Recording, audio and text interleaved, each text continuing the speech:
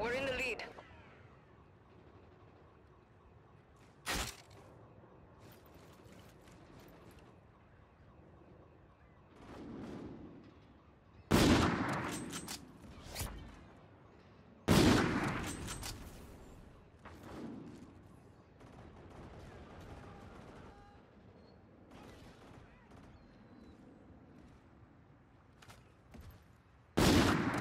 Friendly drone support is active.